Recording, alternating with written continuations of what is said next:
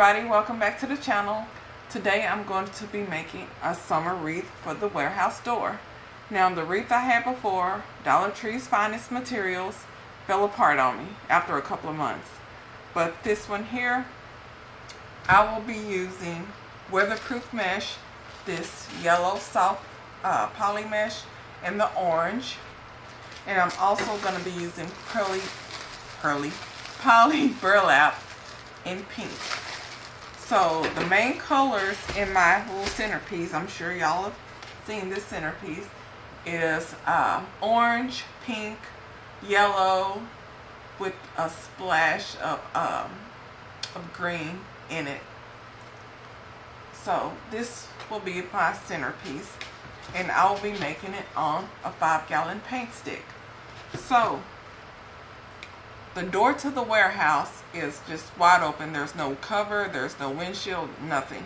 So when the storm comes through or the sun is high, it's beaming directly on the door. So I'm hoping this will last. I'll give y'all an update in a few weeks to see how it's holding up. But orange, pink, and yellow are the main colors.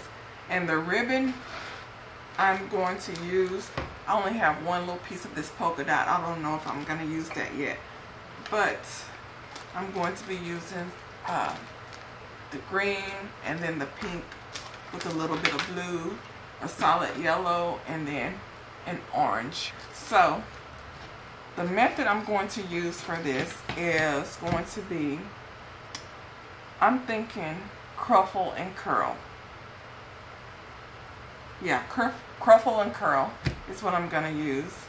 And I've never made a wreath completely out of like the poly burlap and uh, poly mesh. So we're going to see how this goes. But my main thing is I need it sturdy to last out on my door at least until August. So let me go ahead and prep my stick and I will be right back. Okay y'all, here it is. I've prepped my stick. So what I'm going to be doing now is cutting my mesh. Now, these pieces here, let me move my Whataburger cup. This is ice water. I've been trying to do keto, get some of this weight up off me. So, I'm doing low carb to no carb and water, lemon water. No more diet sodas for me oh, I'm gonna miss them, but in the end, they start giving me crazy headaches, so I'm not gonna miss them too much. This is about 15 inches, so for my um, for my cruffles, I'm going to do 15 inches, and my curls, I'm gonna do uh, 10 inches. So this yellow here is already at 15, so this will be one of my um, one of my cruffles and I'm also going to cut my pink 15 inches. I'm basically, y'all know how I like to mix it up. So I have three, five, seven, nine, plus another three. I have 12 and this is the door hanger the top on the back here. That's the door hanger. So I have 12 so what I'm going to do is I will be cutting this pink 15 inches. And then I'm going to do um, three pink three orange and three yellow I'm cutting each one 15 inches to make my cruffles. So let me go ahead and do that and when I'm finished, I'll be right back.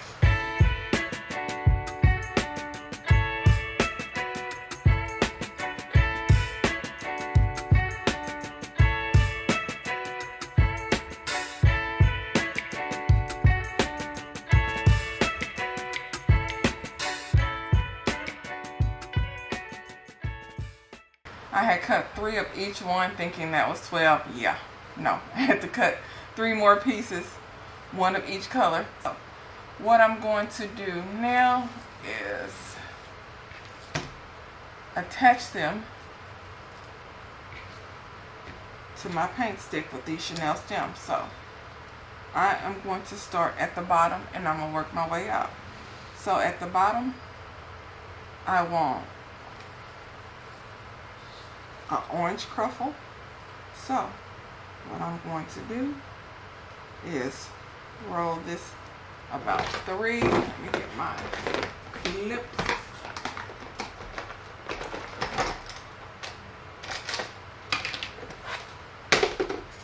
And then clip it around this side. And then just scrunch. So, here you go. And I'm going to add this one right here.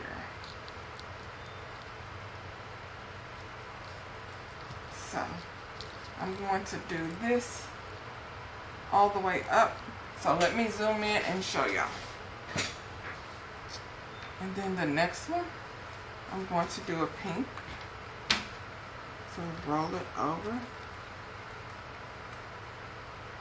just going to do it twice. You know what? Keep it consistent. Roll it over three. Clamp it. One, two, three.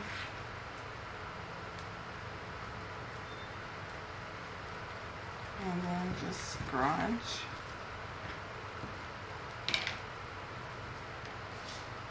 Add it to the right over here.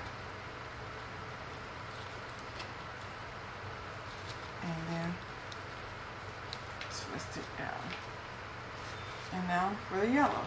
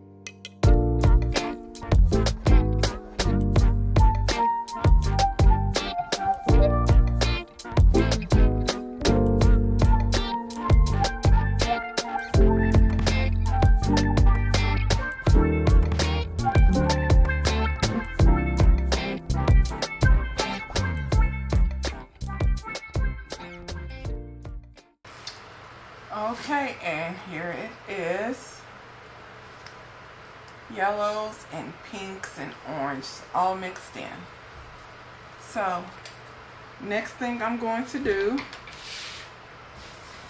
oh, let's get some of this fray off.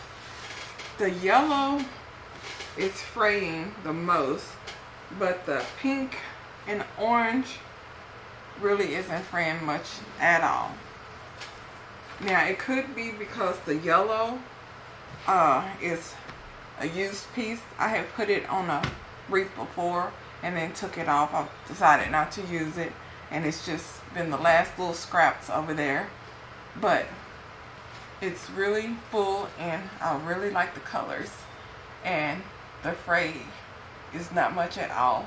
And a little bit more on the yellow, but the orange and the um, and the pink really isn't fraying that much just a little bit so what I'm going to do now is make my curls. So I'm gonna mix it up again and I'm going to make some um, some curls out of these these three. So my curls will be 10 inches and I'm going to make six bundles for curls. So I'm going to cut 12 of these, three of each color, and I'm going to place it on six of the chenille stems. I don't want it on each one. I don't want it too full, but I want it, you know, just spread throughout. So let me go ahead and cut 12 of these which is um, four of each color. And I will be right back.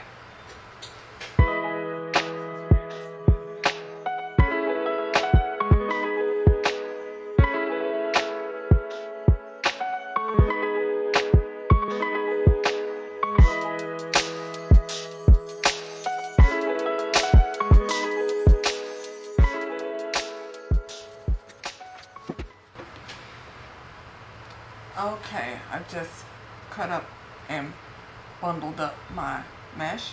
So these two will go together. So I'm to go ahead and make my curls. And just curl it up all the way. And you know what? I'm to fold it over right here. I don't want any fray. So let me do a close-up and show y'all what I just did. So what I'm doing is I'm going to go ahead and fold this side down and clamp it. And I'm just going to roll this side right here.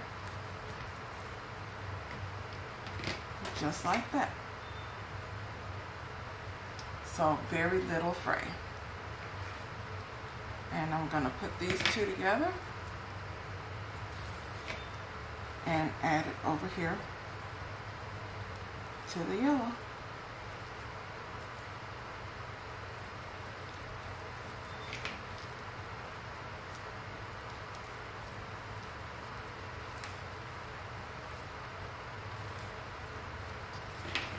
So that's one curl right there. And it blends in really nice right here. So I'm going to go ahead and do another one. This one here, I'm going to put up here on the on the pink one. So it will be an orange and yellow one. And I'm just spreading these throughout. So you go ahead and fold this side over here and clamp it down and then I'll just curl this side over here.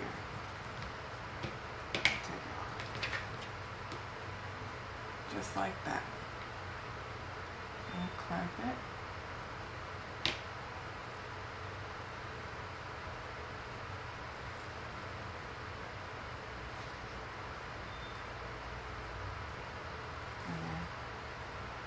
Clamp this side right here.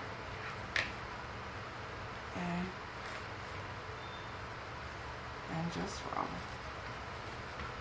Just roll it on up.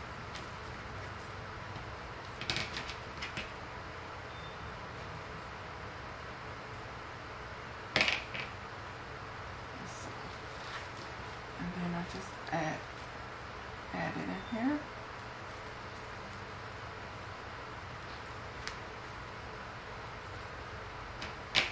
and then next one. I'm going to move up. And I'm going to get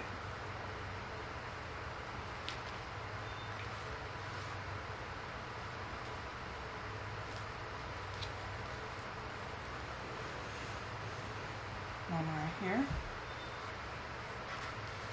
So Let me go ahead and speed through this and I'll come back when I'm through.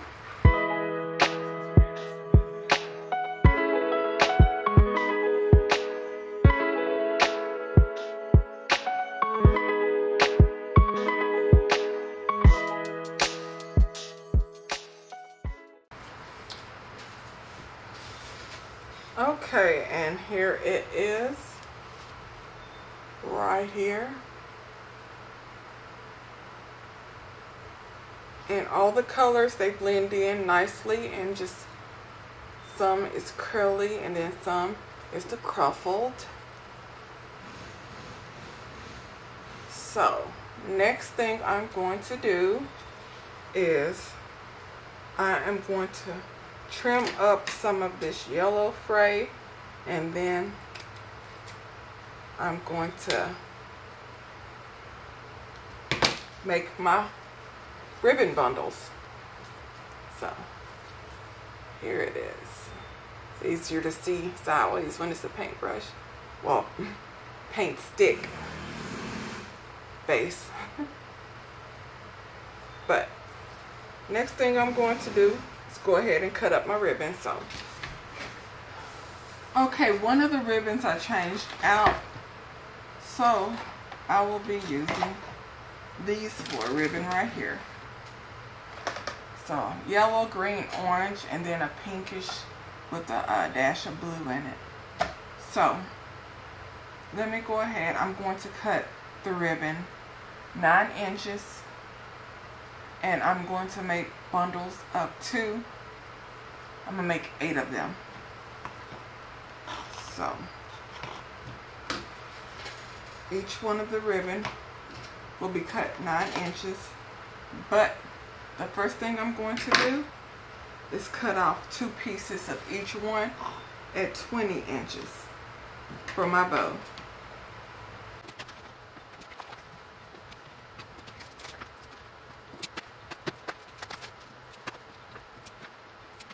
And now I'm going to cut my bundle ribbon. So I'm going to cut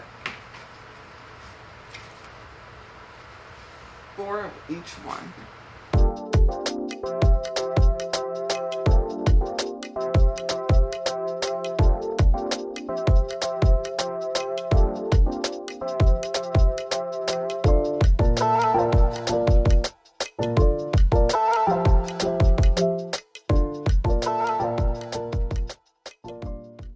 And the first thing I do is, is lay it out and squish it like that and then I'm going to add it right here to this.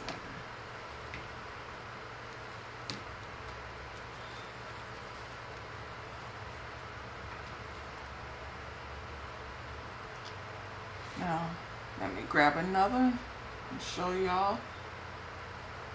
I'm dovetailing as I go. I usually dovetail ahead of time, but not this time. So, folding this over in half like that, and then fold it again like that. And then I just add an angle and dovetail. This is a really thick, like satiny type. I like this ribbon. And I do the same for this one here. Fold it in half. fold it in half long ways. And then at an angle, cut. Dovetail. And I'll just layer it at an angle.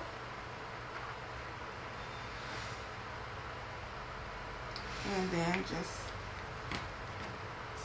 scrunch in the middle just like this. So this one will go right over here.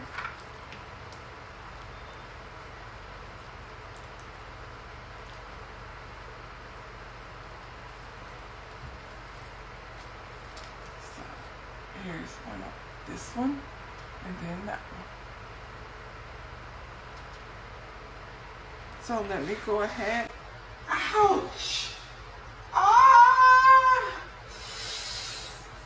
Oh, y'all. Ah. This metal just. Mm. Whew. Clean this up. Oh. Oh my goodness, y'all. that hurts so bad. When I cut this ribbon here, some of the uh, wire was out. So when I cut it, you know, it fell on my mat. And when I went to brush it off, it caught in my hand because this metal it's kind of thick in here. I can cut it with my scissors, but compared to, you know, uh, Hobby Lobby and Dollar Tree's wire, this is a thicker one. And it got me good. Crap. oh, that hurt. It quit bleeding. I didn't want to add no blood to my wreath, so let me go ahead and I'm to dovetail and I'm to add these uh, bundles to my wreath and I'm to come back and give y'all a, a view of what it's looking like. Ouch. I don't know why my camera cut off on me. I hope it was recording. Okay, y'all. The next thing I have to do is to prep my sign. So, I'm going to cut off the tag on the back here. And I'm going to add chenille stems at the top and then at the bottom here. I'm going to secure it with some of the Gorilla Hot Glue.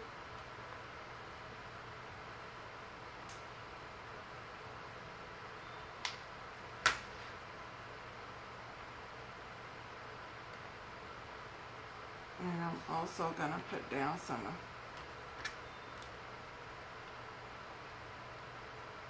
some ribbon over it to secure it.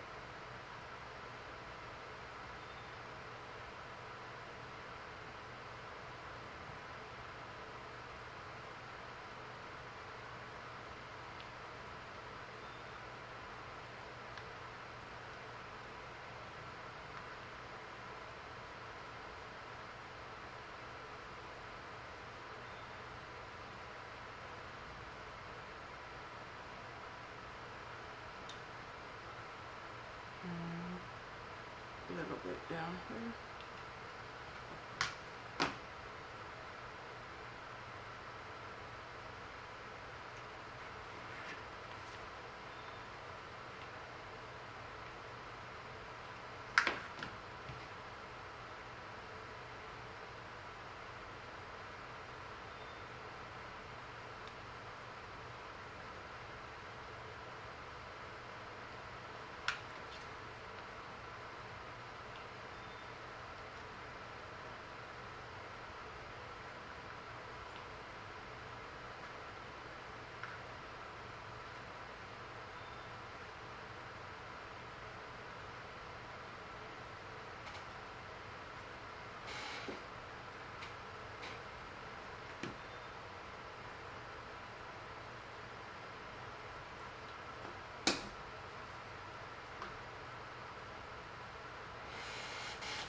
Okay, I'm going to let this dry and then I'm going to attach it to my, my wreath.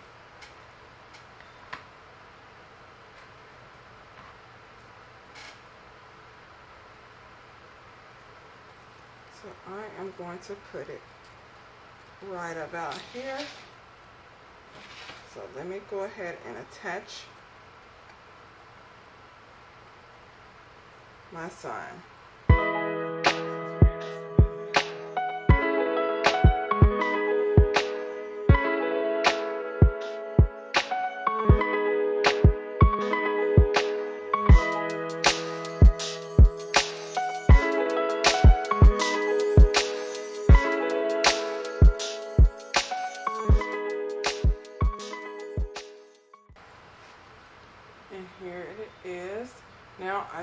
To add my bow and it will be complete.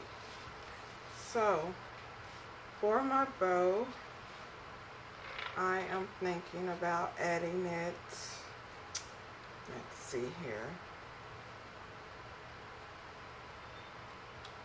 maybe at the bottom here, thinking at the bottom right here. So let me go ahead and make my bow. Now, the way I do my bow simple.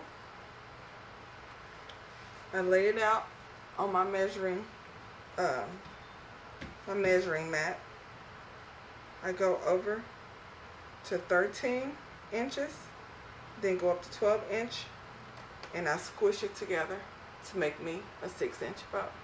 So let me zoom in so y'all can see what I'm doing.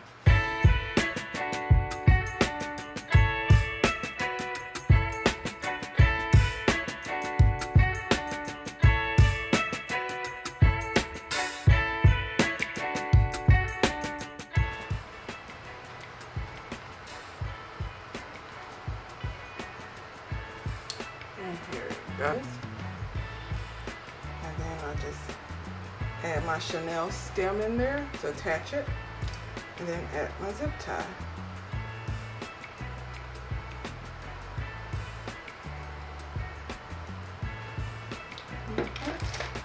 And then you just snip that part off. And now what I'm going to do is dovetail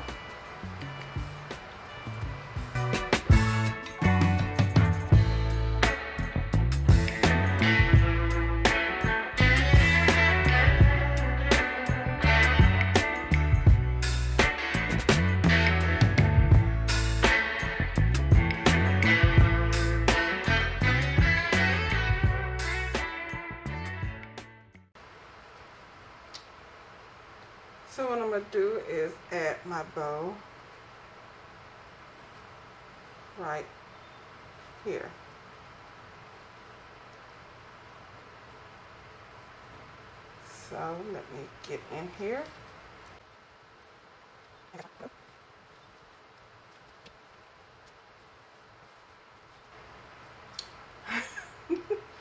Y'all won't believe what I did.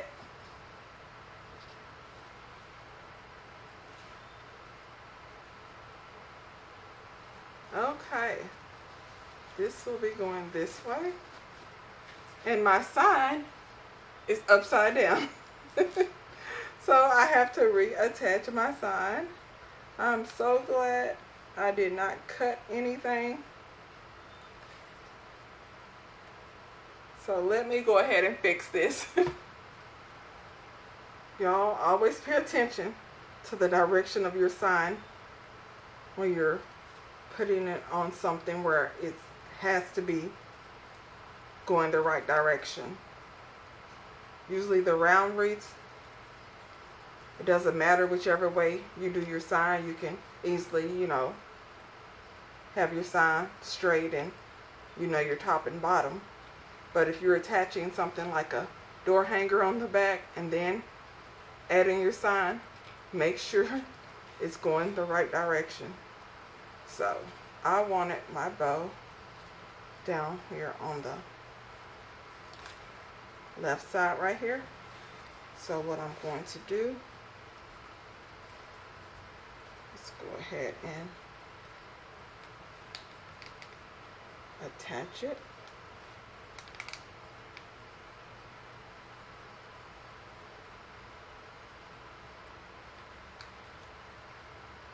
Tuck that right there. And now I just fluff it out.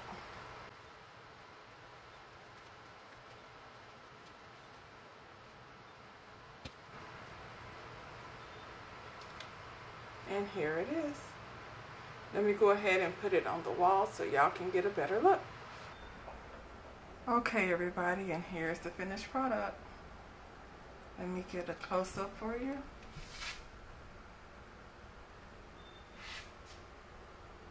Now I have to flip my sign the correct way because I attached it the wrong way.